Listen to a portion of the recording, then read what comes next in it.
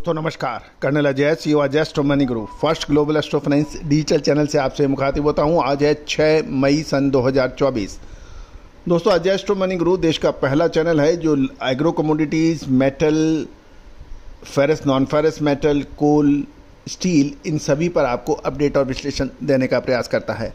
मसालों के अंदर लगभग सभी मसाले, अनाज ऑयल सीड्स पल्सेज कॉटन इन सभी पर आपको अपडेट देता है। आज के इस एपिसोड में हम सुपारी की बात बात करेंगे नट की। दोस्तों, गौरतलब है कि सुपारी की बात करें तो हमें सबसे पहले कर्नाटक और तमिलनाडु और असम के ऊपर ध्यान देना है। सबसे पहले हम आपको कर्नाटक की की खबर देने का प्रयास करते हैं। इस साल पानी की कमी से लाल व सफ़ेद सुपारी की शॉर्टेज होने की संभावना बन गई है। जानिए पूरी रिपोर्ट विस्तार से। इससे पहले हम आगे चले। आपसे एक विनम्र अनुरोध, यदि आप हमारे चैनल पर नए हैं और अभी तक सब्सक्राइब नहीं किया है तो उसको सब्सक्राइब करना बिल्कुल ना भूलें, यदि पसंद आए तो।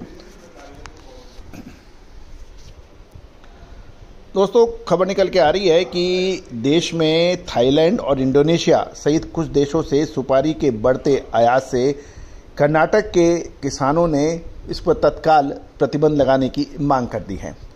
दूसरी ओर केंद्र सरकार का ने सुपारी के आयात को नियंत्रित करने के लिए कई महत्वपूर्ण कदम उठाए हैं। उसमें से ए, ए, सुपारी के आयात पर ड्यूटी शामिल है। केंद्र सरकार ने सुपारी के आयात को नियंत्रित करने के लिए कई महत्वपूर्ण कदम हैं जिसमें सुपारी के आयात पर 110 प्रतिशत का आयात शुल्क शामिल है। लेकिन इसके बावजूद भी कुछ अनाधिकृत तरीके से सुपारी का आयात अक्सर होता देखा गया है। गौरतलब है कि कर्नाटक में सुपारी का पर्याप्त और उत्पादन होता है और किसानों का कहना है कर्नाटक की तो आयात की आवश्यकता नहीं है। कर्नाटक और केरल से देश के विभिन्न भागों में सुपारी की सप्लाई होती है। कर्नाटक, केरल और असम ये तीन राज्य सुपारी के लिए प्रमुख उत्पादक रोज माने जाते हैं। इस बार समाचार ये मिल रहे हैं कि दक्षिण भारत के प्रमुख उत्पादक क्षेत्रों में लंबे समय तक अच्छी बारिश नहीं होने और मौसम के गर्म और शुष्क रहने से सुपारी का प्रोडक्शन इम्पैक्ट हो सकता है। स्टॉक की कमी और अच्छी मांग के कारण सुपारी के अंदर तेज़ी का माहौल बन सकता है। ऐसी संभावना है। दूसरी ओर, जलवायु परिवर्तन एवं प्रतिकूल मौसम का सीधा असर सुपारी के उत्पादन पर देखा जा रहा है। लाल किस्म की सुपारी के दाम पिछले कुछ तीस से चालीस दिनों में ही एक ज़बरदस्त तेज़ी देखी जा चुकी है। चन्नागिरी और शिवमोगा जैसे प्रमुख थोक मंडी में लाल सुपारी की वैरायटी का भाव चार सौ अड़तालीस प्रति किलो के उच्चतम स्तर पर था, जो 29 अप्रैल 2024 से को उछलकर पाँच सौ छत्तीस प्रति किलो तक पहुँचने के भी समाचार मिले हैं। गौरतलब है कि लाल सुपारी का, की शॉर्टेज बताई जा रही है। क्योंकि अनेक उत्पादक पहले ही अधिकांश स्टॉक की बिक्री कर चुके हैं। इसके अलावा आगामी समय में इसका उत्पादन प्रभावित होने की प्रबल संभावना बन गई है और कुछ इलाकों में तो बिल्कुल सूखे की स्थिति बताई जा रही है। दावणगिरी ज़िले के चन्नागिरी तालुका को आ, में लाल सुपारी का प्रमुख उत्पादक क्षेत्र माना जाता है।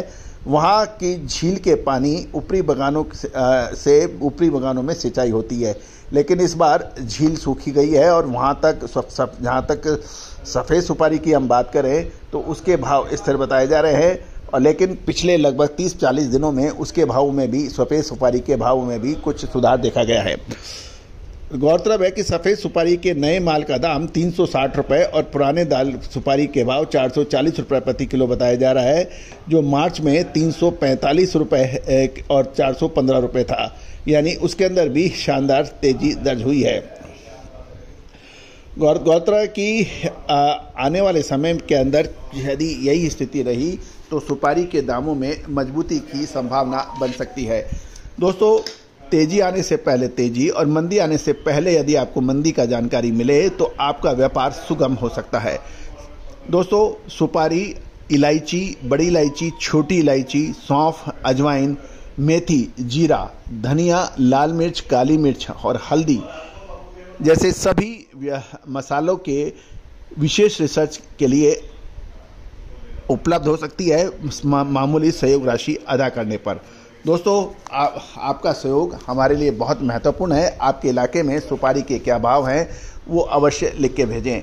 आपको याद होगा लगभग हमने 10 से 15 दिन पहले भी आपको सुपारी का अपडेट दिया था और उसके बाद सुपारी के दामों में अंतर देखा जा रहा है। उम्मीद है कि हमारे शो आपको पसंद आ रहे होंगे।